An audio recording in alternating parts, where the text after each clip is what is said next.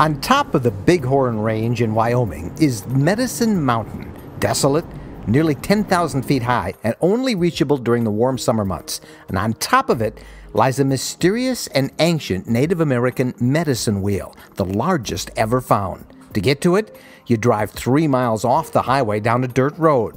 Then you come to a small National Park Service ranger station. That's the parking lot. And then you walk. The medicine wheel is uh, 10,000 feet here in the Bighorns. And then you end to the end of the road uh, for vehicles and you have to walk a mile and a half up. And uh, it's pretty, it's pretty high up. Sun's beating down. But this thing is like no other medicine wheel anywhere around. It's the biggest, the best preserved. It's used by over 80 different tribes for religious purposes. And no one is exactly sure what it's for. It predates all Indian history. All Native Americans know is that it's been around before them, uh, their ancestors. Pretty interesting place. Because of the elevation, it's almost July and we have got snow. Lots and lots of snow, both sides.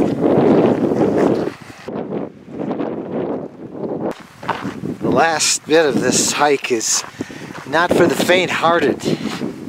It's uh, pretty much straight up. A mile and a half from the parking lot, you've arrived. There's a small marker attesting to the mystery of the place and a walkaway around the wheel, which is encircled by a fence. The Bighorn Medicine Wheel is 80 feet in diameter. It's a wheel like pattern made of stones.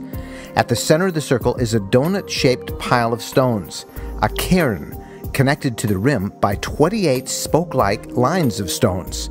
Native Americans used this site regularly for religious purposes and special ceremonies called vision quests. Sometimes Indians remain here for as long as four days without food or water.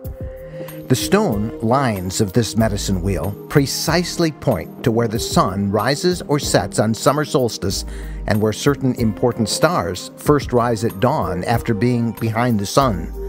Some 80 different Indian tribes hold ceremonies here, and Indian prayer bags, pieces of cloth, and other religious and ceremonial decorations are affixed to the fence.